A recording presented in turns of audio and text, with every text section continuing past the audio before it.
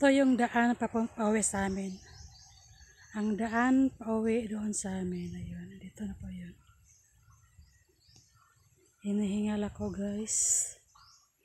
Kalain mo ano. It's 11 a.m.